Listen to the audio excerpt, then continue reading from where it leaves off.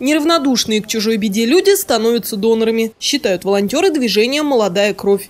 Их акция на станции переливания была посвящена Дню памяти жертв автокатастроф. Регулярно волонтеры посещают учреждения, чтобы помочь людям, попавшим в беду. На каждого донора заводится персональная карточка. В ней паспортные данные, вес, рост, показатель давления. Информация размещена в общероссийской базе. Тот, кто не проходит тест по вирусной безопасности, донором никогда не станет. Каждому донору определяется группа крови, резус-фактор и определенные гематологические показатели в зависимости от того, что он сдает. Если это донор крови, определяется уровень гемоглобина, и этого достаточно.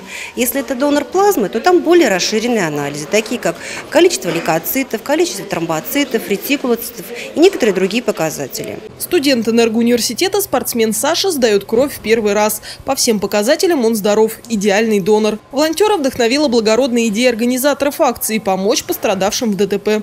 Пусть даже незнакомым людям. 300 миллилитров крови не жалко. Я думаю, что каждый может попасть в плохую ситуацию и мы должны помогать людям. Поэтому я пришел, чтобы сдать кровь сегодня. Какие ощущения? Неплохо. Хорошо себя чувствую.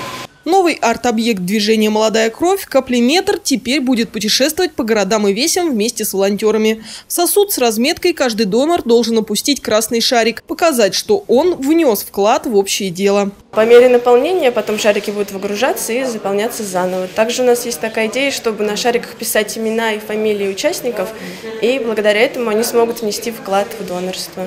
На станции переливания рассказывают, сдать кровь ежедневно приходит около 60 человек. В дни памяти их становится многократно больше.